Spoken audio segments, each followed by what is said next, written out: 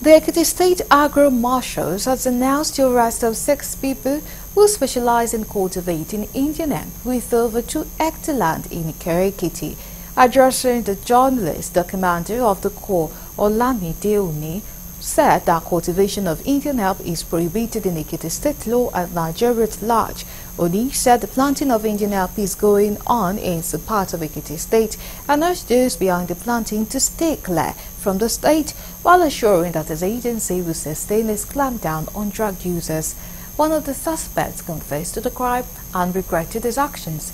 The commander said all the suspects will be handed over to the appropriate law enforcement agency for prosecution. In all those communities, if they are not given their land, they cannot be planted as massive as that. In the past, we have had incidences of uh, where they brought helicopter to come and be harvesting in, the, in that area. So, the war has started with them, and I'm sure the state government will take a positive step to make sure that equity is cleaned up.